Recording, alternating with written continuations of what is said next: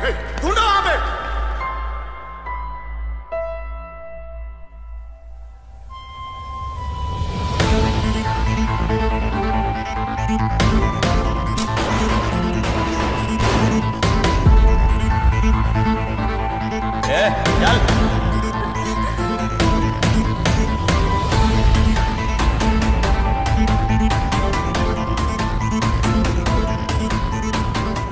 जो 90s का सबसे फ़ेमस गाना हुआ था बैन। क्या आमिर खान भी बनेंगे? मूवी का हिस्सा। दोस्तों, क्या आपको याद है 1993 का वो एक धमाकेदार गाना जिसने म्यूज़िक इंडस्ट्री के कई सारे रिकॉर्ड तोड़े? एक ऐसा गाना जिसने अलका याग्निक को रातों रात सुपरस्टार बना दिया और जिसे सुनकर आज भी पैर उसी तरह थिरकते हैं, जैसे कि 90s के उस दौर में थिरका करते थे। हम बात कर रहे हैं खलनायक मूवी के फ़ेमस गाने, चोली के पीछे क्या है के बारे में। दोस्तों, ये गाना 1993 का one of the most popular song है। लेकिन क्या आप जानते हैं कि इस गाने को लेकर बॉलीवुड में कई सारी कंट्रोवर्सीज हुई और इस सॉन्ग की रिलीज़ को बैन भी किया गया था।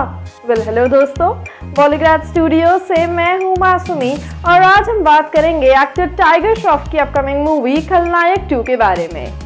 दरअसल दोस्तों, आजकल और 90s के लोगों की थिंकिंग में काफ़ी ज़्यादा डिफरेंस है।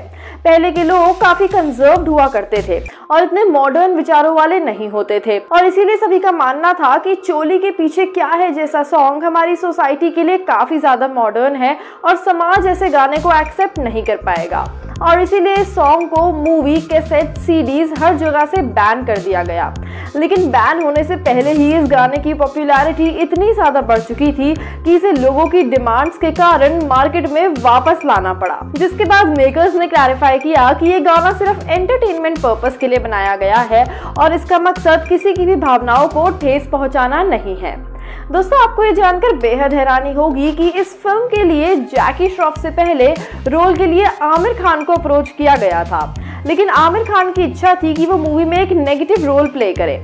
जबकि सुभाष घई ऐसा नहीं चाहते थे। और इसीलिए आमिर खान ने फ़िल्म से बैकआउट कर लिया। बता दें कि खलनायक 2 के नेगेटिव पार्ट के लिए अभी तक किसी भी एक्टर को अप्रोच नहीं किया गया है।